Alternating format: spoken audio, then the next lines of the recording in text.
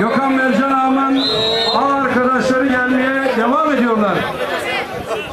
Şan Halil Ağa görüşlerin ağası. Eski levazımın sahibi. Sayın Necdet Keskin şu anda Çanar Meydanı'nda. Alkışlarım.